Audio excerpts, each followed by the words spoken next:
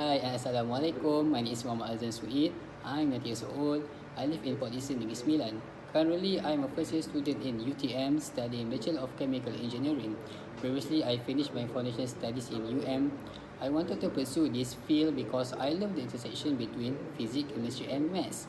One interesting fact about me is I really enjoy doing things that involve critical thinking. When I was when I was in high school, I joined UTM Bridge Competition and National Robotic Challenge. I was also the team presenters. Besides, I also play chess for Sukan Universiti Malaya and also represented UTM for Dota 2 Sukma Johor qualifier.